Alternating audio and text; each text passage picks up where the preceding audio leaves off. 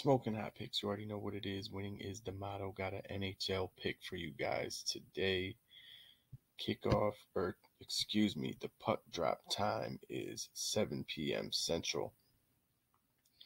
Matchup is going to be between Detroit Red Wings and Chicago Blackhawks. The pick is under one and a half, plus 100. Really nice odds. Lock that shit in before the line moves. Really, really love when I get the plus money for these unders for the first period. Um, so lock that shit in under one and a half between Detroit and Chicago first period. Shout your boy out when we cash out smoking hot picks.